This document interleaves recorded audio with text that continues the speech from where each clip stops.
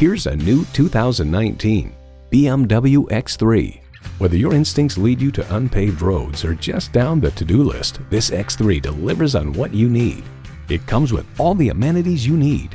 Automatic transmission, gas pressurized shocks, external memory control, power heated mirrors, dual zone climate control, auto dimming rearview mirror, auxiliary audio input, auto dimming mirrors, driver memory seats, front and rear parking sensors, and intercooled turbo inline four-cylinder engine.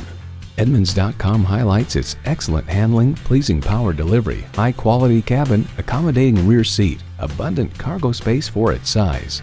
BMW, sheer driving pleasure. Hurry in today for a test drive.